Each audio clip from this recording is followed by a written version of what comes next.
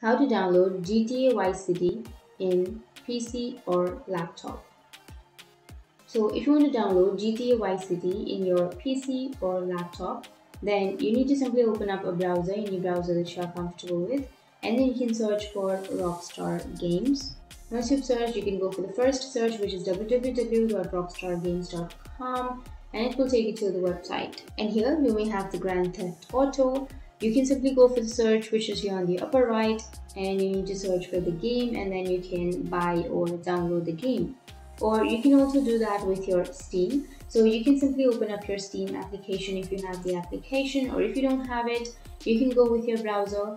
And once you're here on the steam you can go for the search which is on the upper right and then you can search for grand theft auto. And once you've searched you can simply choose the 4 5 or any edition that you are comfortable with. So I'll be choosing the first one, for example, and here once you choose, you can scroll down and you need to enter your date of birth to continue. So enter your date of birth and once you enter your date of birth, click on view page. And once you click on view page, here you will have your game, right? So what you need to do is you need to scroll down and then here you need to select the purchase option.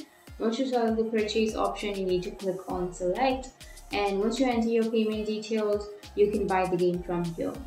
So that's it. That's how you can download the GTA Vice City in your PC or laptop. And if you have any questions feel free to comment below. Thanks for watching